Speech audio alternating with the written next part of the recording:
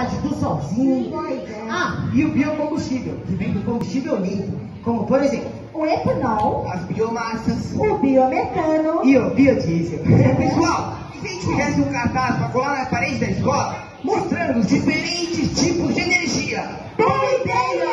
E eu, a repórter Mandinha, eu vou escrever o artigo para o Jornal da Escola. Isso. E o título vai ser assim, anota aí. Vou anotar, vai. Novas fontes de energias sustentáveis.